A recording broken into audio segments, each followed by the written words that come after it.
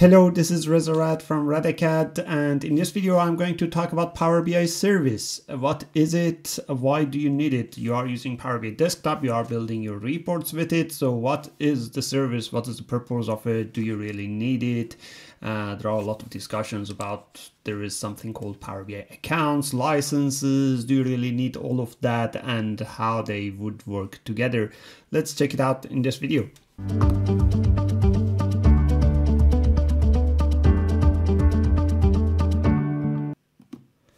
So the first thing you need to um, the first thing you need to understand about Power BI is that uh, it's a tool set. It's a uh, let's say it's a bunch of tools and services components working together.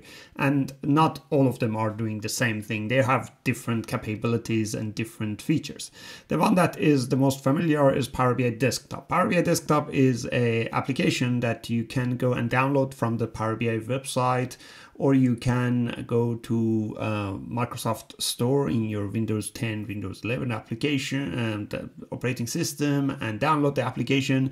It is totally free. You don't need to pay anything for it. You don't even need to have a Power BI account to use it. You can just uh, use it without any licenses or anything. Just connect to any data sources you want, build your reports. It's your report development tool or let's say the report authoring tool. You don't need anything else for authoring your report. Uh, so then why all of other things such as Power BI website, gateway, all of those other things. So let, let's talk about that. So let's say you created the report, you built the report. What is the next step after the report? When you created the report, then you want to show it to someone saying that, well, this is the report, this is the result, this is the data, because that is the whole purpose of the report. You built something, now uh, that data exploration or data visualization should be used for someone to make some decisions, informative decision based on that. So you are going to show it to somebody or share it with somebody. That is where we need to think about something else, another component, because if you use just the file generated in the Power BI desktop and you want to share that, those files are PBIX extension, that means that your users also need to have a um, Power BI desktop installed to see that. If you don't do that, if you take just screenshots of your Power BI report and share it with them, then you have to go to every single page and create a screenshot and send it to them. And it's not going to be interactive. The whole point of Power BI is to create interactive dashboards. They, they users won't be able to select slicers uh, and things like that and um, and really interact with the report. They just see a bunch of screenshots if you get them to install Power BI Desktop, uh, first thing is that not everyone can install Power BI Desktop. They might have an iPad or their phone. They cannot install Power BI Desktop in their phone. Um, so there is a limited limited possibility. Even if they can install it, it's too much power. They might go and edit something and um, cost something to show a wrong value and then they come and blame you that your report is not working. So Power BI Desktop is not really a tool that you need that you use for sharing. It's a tool you use for creating the reports. So when you want to share it, you have to think about a hosting environment for Power BI. For Power BI, we have two types of hosting environments. When you create this report, you can host it on premises locally in uh, a server in the local domain let's say your company has some local servers um, you just host it over there and then everyone in the company can use it. Or you can use cloud-based hosting environment. So the cloud-based hosting environment for power bi is called power bi service or some call it power bi website. It's the same thing. The on-premises hosting option for Power BI is called Power BI Report Server. For the report server, I have a separate video, go and check it out, but the service or the Power BI website is what I'm going to talk about in this video. So Power BI service or Power BI uh, website basically is the cloud-based hosting environment for Power BI. It's a Microsoft cloud-based hosting environment. So when it is Microsoft cloud-based hosting environment, that means it comes with all of those Microsoft cloud environment configuration. It uses Azure Active Directory behind the scene for managing users. It uses Office 365 for managing licenses, things around it. You have the user management capabilities like what we have in Office 365 and in Azure Active Directory. Every organization have different tenants and under tenants we can have like workspaces as separate working environment for different teams like a collaborative sharing options that we can have between the teams to share the content together and then create a package of that content, share it with the user. So it comes with a lot of features that you normally expect in a uh, in a hosting environment in a place that you host your Power BI reports and share it with the users. And when you share it with the users, the users can just use a normal web browser to see the Power BI content, or they might even install Power BI in their phone and then a Power BI app in their phone and then using that they can see these reports. When your reports are hosted in Power BI service, they can easily do that. So Power BI Service is basically that environment with all of these features. However, it's not just that. It is a little bit more than that. I'm going to talk about it. Uh, the first step to have your report into the Power BI Service is, of course, publish it. In the Power BI Desktop, we have this publish button that you can use to publish your report into the service. It's a very easy, simple process to do. You can even go to the Power BI website, app.powerbi.com, and upload your Power BI file over there. Uh, if you used um, on-premises data sources in your file, such as an Excel file in a shared folder in a local network drive or a SQL server on a local domain uh, SQL server, then you have to set up a gateway to create the connection from Power BI service to those uh, on-premises data sources. If your data sources are cloud-based data sources such as Google Analytics, Azure um, Analysis Services, Azure SQL Database, then you don't need uh, gateway to get your datasets refreshed. Uh, in Power BI mm, website, to get access to this environment, you need to have licenses. And there are different types of licenses. These are in two main categories. Uh, they are either capacity-based licensing or they are uh, user-based licensing. You would definitely need to have any of these licenses. Even if it is a free license, you definitely need to have these to be able to access to the Power BI website to be able to log in. The capacity-based licensing is normally good for enterprise customers with um, multiple hundreds of, uh, on, let's say 500, 600 of users or thousands of users. Uh, they would have a dedicated capacity that they can host their reports on it. It would have a different um, performance aspects on it, can be enhanced specifically for their environment and things like that. And we have also user-based licensing, which is for a small, smaller um, user area or like small or mid-scale businesses but uh, but you also would need some of these user-based licensing even if you are using premium capacity licensing as well. Like if you are if you got a premium capacity for your environment you might need some pro licenses for your developers to set up uh, the Power BI reports, deploy it, and, and things around it. Now, this is not a video about licensing. That is a whole big discussion itself. I have a separate video for that. Go and check it out. But the main thing is that Power BI website is kind of bundled with those licensing options. So you have to go and choose what is the right licensing option for you. Now, Power BI service or Power BI website is not just for hosting reports, it is much more than that. Uh, at first, it created as a hosting environment for the reports, but then Microsoft gradually brought new um, components, new tools, new features in it. Nowadays, we have a lot of things in the Power BI service that is not necessarily related to the report. We have data flow, shared data set, data mart. I'm going to talk about uh, these uh, very briefly, what they are, just in case you want to know. But use the links down in the description below to learn more about them because I have different videos and articles about each of these. Uh, so the first one is template app. Let's say you want to create a report from your Google Analytics account and instead of going and building the report from scratch, uh, creating every visualization, creating the data model, tables, relationships, calculations, somebody in another organization, in another company created that and thought that this perhaps is useful for others. So uh, that person created something called template app template app is a pre-built power bi application um, that you can use. Some of these are free, some of these are paid, of course. Uh, you have to pay for it. Uh, but the point is that then if I'm going to use that Google Analytics, I don't have to reinvent the wheel and do all of those things myself. I just use that template app. I enter my credential to my Google Analytics account and it creates that connection. It builds the report for me in just few seconds. I would use that report, right? That is called template app which is one of the features of the Power BI service. Another thing is app.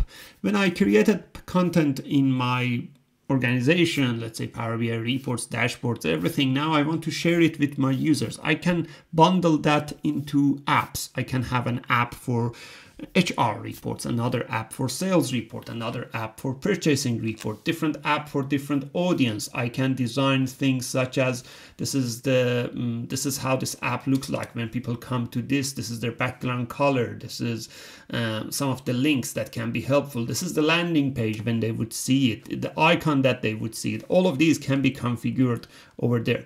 You can also mm, use workspaces. Workspaces is like a shared folder, let's say, created to uh, have a collaborative environment between uh, multiple Power BI developers, me, Jack, John, let's say we are all building Power BI reports. We need an environment so that we can publish our reports over there. We can peer review each other's work. I can go and edit what Jack did. John can go and edit what uh, I did. Things things like that. And then once we are ready, we can deploy it into uh, other, um, let's say, folders, other environments, build an app on top of it to share with the users. These are called workspaces, which are part of the Power BI service. Dataflow is ETL in cloud based on Power Query Engine. Using Dataflow, we can get uh, we can connect to data sources, do some data transformation using Power Query, load the result into Azure Data Lake Storage, which is part of Power BI service. You don't pay for that separately. Uh, and then you can reuse that in multiple Power BI files in your Power BI files instead of in creating a product dimension in each of these and copying this across your files, you can just do that in a data flow as a shared place as a one single ETL layer. And then in different Power BI files, you can go and get data from it. That would make your uh, Power BI implementation much better in terms of architecture because it would be separated layer for ETL and you can reuse your work. Same situation for the shared dataset. Shared dataset is where you can use the dataset that you just published to the Power BI website and create multiple reports from it. These are thin reports. These are not necessarily having their data, their own dataset. They are using the shared uh, one shared data set that the benefit of that is of course you are reusing all the calculations dax calculations relationships modelings that you have done. You don't have to redo it or copy it. As a result you wouldn't have redundant copies of the same thing. You have one single version of truth which is um, in this case your layer of the data modeling. These are important bits and pieces in multi-layer architecture for power bi which i explained in another video Data Mart is the newest component of Power BI in this category that uh, not only gives you uh, Azure SQL database uh, storage for these data, but it also brings the whole unified experience of creating all the data model inside the Power BI uh, web platform. So in, this is the next generation of how we are going to build Power BI datasets and reports in the future. You probably won't need Power BI Desktop anymore in the future. You are going to build everything in the website in, in a unified place. You do your data flow, datasets, relationships, row level security, incremental refresh, all of that in one place. This is also one of the features of Power BI Service. Some of these features um, you have to have premium licensing by the way. Deployment pipeline is another uh, one of the features that we have in the power bi service. When you have different environments such as a test environment a developer environment and a user environment and you have content in each of these you can compare the content that you have in your dev environment with the user with the user or let's say live environment compare these. You see for example this report is not yet published there. Now let's go get it and publish it over there. It manages the whole process much easy and you can roll back your changes. You can see the history of your changes. It's a deployment process made easy basically Dashboard is uh, another visualization element in Power BI in addition to the report. Report is more like an interactive uh, visualization uh, option in Power BI. Dashboard is a layer on top of it where you have multiple reports and you want to have like a holistic view of all of those data in one place that automatically get refreshed as soon as the data behind the scene is getting refreshed. You might get you might use it to put it on a screen on a wall to see it, or you might want to use it to see the real-time changes. Uh, that is a Power BI service only element. You cannot do that in Power BI Desktop, and we won't have it in Power BI Report Server. Power BI metrics is a way that we can analyze KPI, key performance indicators, data, scorecards, some metrics that are really important for our business. We want to compare this value, for example, um, the sales year to date with the uh, with the target that we have how are we on the track show it on a trend line uh, are we on track are we behind show it based on the status come with some color coding all of these can be configured. And the good thing is that this can use a power bi dataset as a source uh, content certification is a governance feature added inside the Power BI service environment. Uh, because you have so many contents after a while in Power BI environment, your users might get lost that what dataset is good to use. There are like three different sales dataset. Which one should I use?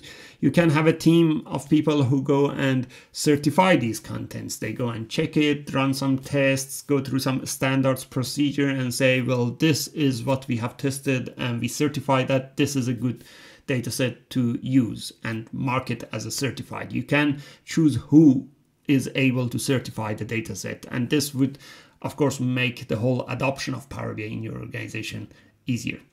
Because you have so many data related elements in Power BI, data lineage is another useful thing in Power BI. You look, you look at a report, you wonder where the data of this report is coming from. Where is the data set for that? What ETL data flow this is coming from and what data source this is coming from. Data lineage will show you, you the lineage of these from the report all the way to the source. However, this is a still work in progress. Some specific scenarios is not supported. So um, stay tuned for that and um, read more around that subject to get to know more about uh, data lineage. So as a um, summary, uh, Power BI service is a hosting environment, cloud-based hosting environment for Power BI service, but it comes with so many features, so many uh, capabilities that these days most of the Power BI implementations are using Power BI service anyway, not just for the cloud-based hosting capabilities of that, but because of all of other things that comes with it, the data flow, the shared data set, these days data mart, deployment pipeline, the lineage, certification, Power BI metrics, dashboard, many of these uh, can be really helpful in adoption of Power BI in your organization. In majority of the Power BI implementation I have seen Power BI service has been used and um, different aspects of it has been used. Uh, if you use Power BI service or if you use Power BI report server, let me know in the comments below. I would like to hear more about how do you use it. I run trainings and consulting on Power BI, so get in touch with me if you have any questions in Power BI and I hope you like this video. Until the next video, bye.